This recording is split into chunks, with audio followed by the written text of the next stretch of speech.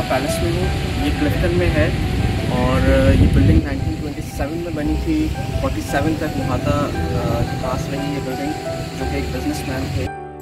ये मोहाता पैलेस की बिल्डिंग शिव रतन चंद्रा रतन मोहाता ने अपनी फैमिली के लिए बनाई थी जो कि इसको समर हाउस के तौर पे यूज़ करते थे। ये इसका आउटलुक है। यहाँ से हमने टिकट लिया है टिकट कॉस्ट जो है वो थर्टी रुपीज़ और क्वार्टर यूएस डॉलर इस तरह से बना हुआ है ये और मस्जिद अभी आगे अंदर ले जाके दिखाते हैं वो पीकॉक नज़र आ रहे होंगे।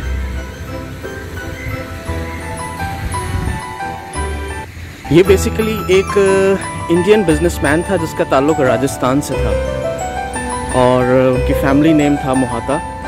वो 1927 में उन्होंने ये बिल्ड किया था as a summer house because ये uh, साहिल के करीब है क्लिफ्टन के करीब है बिल्कुल। तो वहाँ पर इन्होंने ये बनाया था।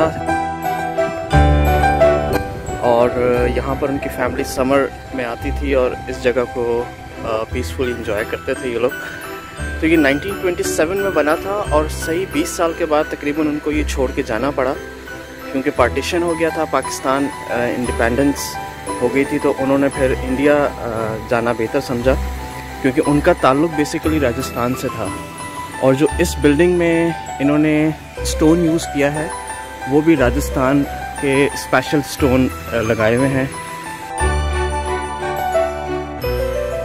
तो ये बेसिकली बहुत अच्छा एक कंस्ट्रक्शन है और ऐसा लगता है कि वाकई बड़ी फुर्सत से और बड़ी आ, आ, देख के उन्होंने ये चीज़ बनाई हुई है।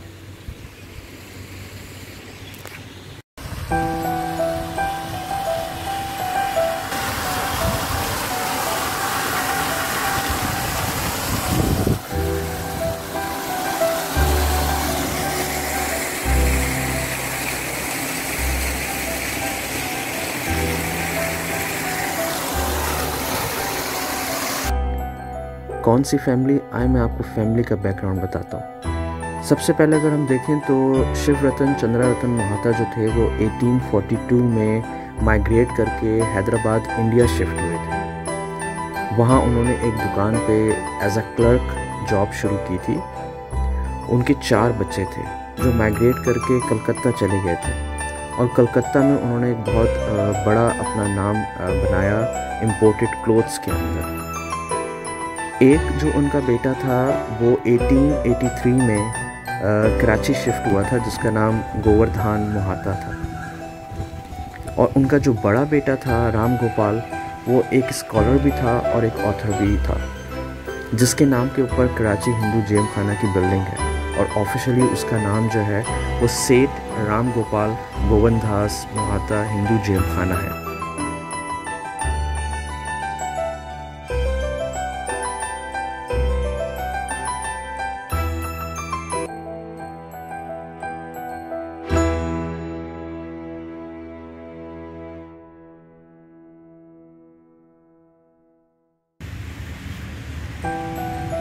गोवंदान मोहाता का जो सबसे यंगर बेटा था शिव रतन वो कराची में इंडस्ट्रियलिस्ट के तौर पे जाना जाता था।